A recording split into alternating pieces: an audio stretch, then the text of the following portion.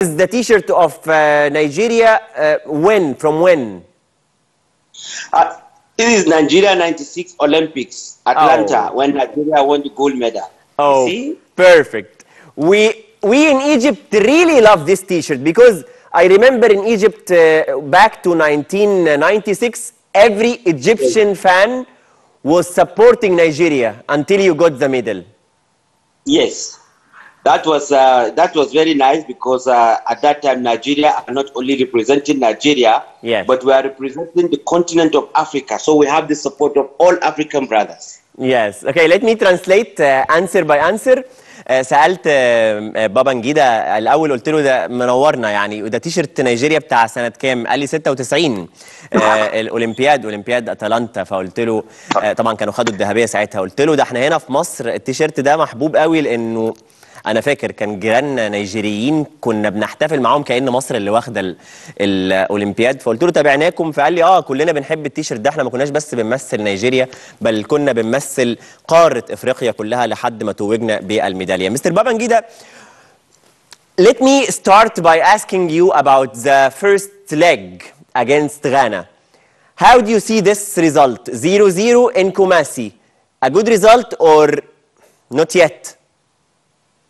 Well, um, I think the game is uh, Nigeria is supposed to win the game, but uh, but 0-0 is not bad because we are going to continue on Tuesday from where we stopped.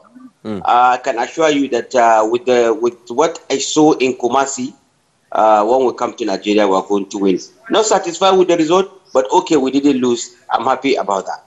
أوكي بيرفكت سالته على نتيجة المباراة الذهاب بداية كيف يراها؟ 0 0 في غانا. فقال لي إنه هي نتيجة يعني جود ريزلت نتيجة كويسة في النهاية. لكن هي إحنا لازم نبدأ من حيث انتهينا في مباراة الذهاب. ومما شاهدته في لقاء الذهاب أرى إن ممكن منتخب نيجيريا يتأهل إلى المونديال لكن لازم نشتغل على ده. Okay, let me ask you about uh, the the second leg this.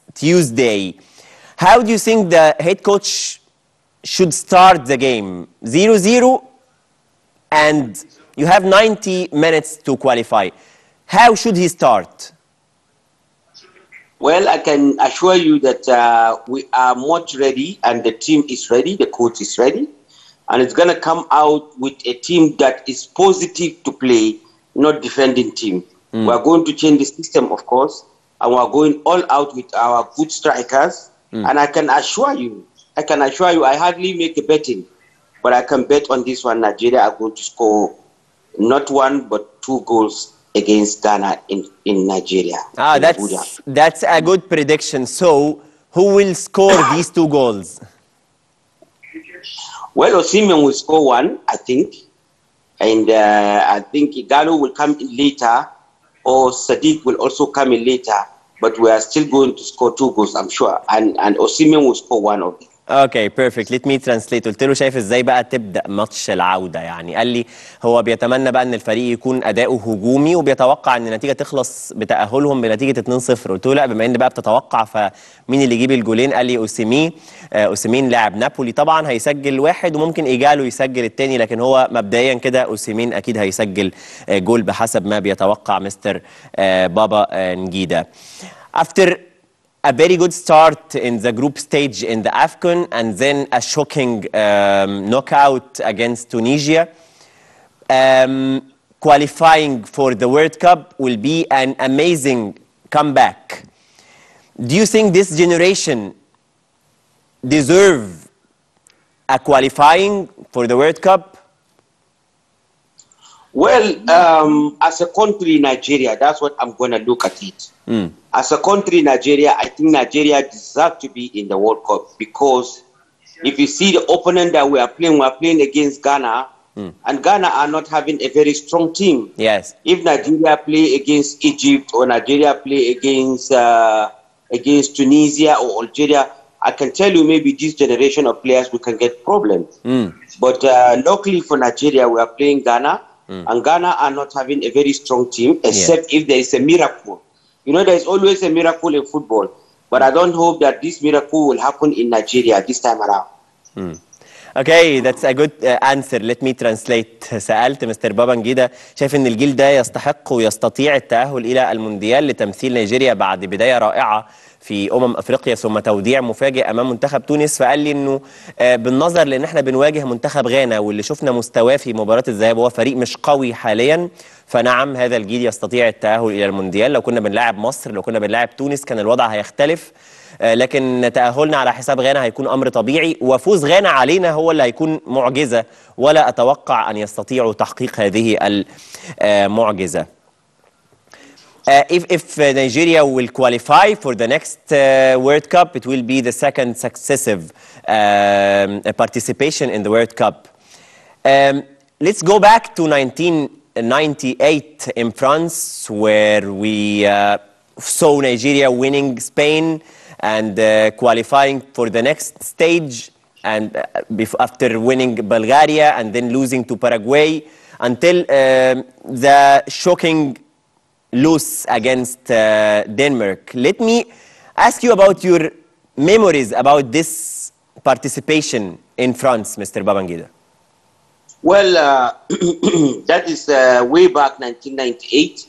Uh, we were looking forward for that World Cup because we have a very strong team, which uh, at the beginning we beat, we play against Spain and we win, and we play against Bulgaria, we won, and we lost the last match against Uruguay, I think. And then we come in against Denmark for the second round. Uh, we are all thinking that we are going to beat Denmark because we have very, very strong team, but but you know how football is. You never can say. And uh, we are taken by surprise from Denmark, and we are losing that game by four. And I remember I came in in that game 20 minutes to go. We are four goal down, and luckily for me, I scored that goal. I Yes. scored one goal for Nigeria. Yes. So it ended four. At least it was my World Cup goal. I should be very happy with it. But uh, but losing four one is somehow somehow. Yes, that's why Personally- I- I- yes. I still remember that you didn't celebrate this goal, uh, uh, although it was a very good goal. It was uh, Yes. a cross from the other side, and without touching the ground, you you shoot it in the Dan- the Danish uh, goal. Yes, yes. But I could not so, I could not celebrate such a goal. But inside of me, I'm celebrating it because scoring in the World Cup is something very, very nice for a player to score in the World Cup. And I find myself and I score in the World Cup, so I'm happy. Thank God. Yes, we, we have a legend here in Egypt who was called Mr. Magdi Abdel Ghani. If you know him as a player, a former player, he scored a penalty uh, in a draw against Netherlands in one of our participation, 1990. And until now, every second, he talks about this penalty he scored. Yes. yes, he must score. He must talk about the penalty because, you know, scoring in the World Cup, even if you are losing 10-0, Yeah. every player wants to make history. Now I make history myself because I score in the World Cup. But if you ask me what is the result of that match, I will not even tell you because I lost four, but I scored the goal. So, so your player is talking about his penalty, and I'm still here talking about my goal, but we lost four one.